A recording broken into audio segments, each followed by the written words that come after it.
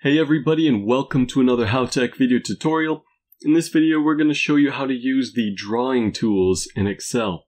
Before we begin, please support us by clicking that subscribe button and turning on those bell notifications. Let's get started. So we have a couple different drawing tools. We'll go to the Insert tab here, go over to Shapes, and you can use any of these as a starting template, but what we're going to be looking at specifically is the freeform scribble and the freeform shape. So if we start with the little scribble, and just remember, Excel of course is not a drawing application or anything like that, but it has some functionality as far as scribbles go. So there's a little scribble. And we can go ahead and if we wanted to, you can see some of the edges are a bit jagged. I just did that with my mouse.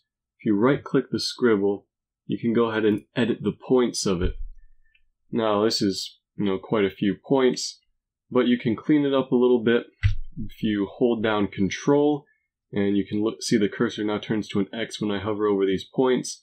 Just left click those to get rid of any extraneous points that you may not like. And I'll go ahead and just remove a few just to give you a little example of how this could look. Alright. So I'll just be focusing in on this little section right here. Right now you see that this is just a line. You don't really want that. Well, maybe you do. I don't know. But if you click one of these points, you'll see two handles appear. And you can click and move these handles to make some sort of smooth curve however you want to do it.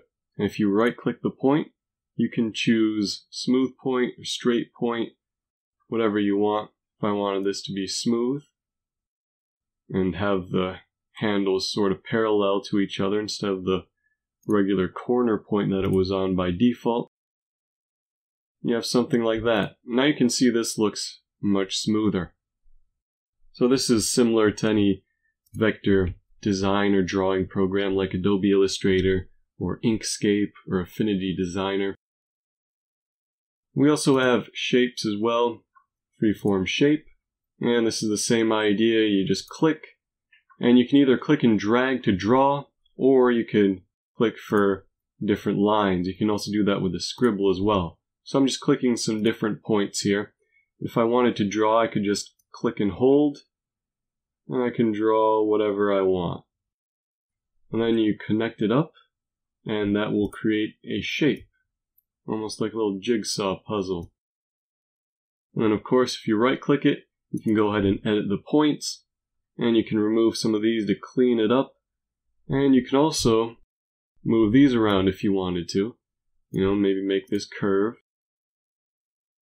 Something like that. And if you wanted to add points, you could just hold down control and click anywhere along the edge and that will create a new point for you. So this has been a HowTech video tutorial. Please like, subscribe, comment, and thank you for watching.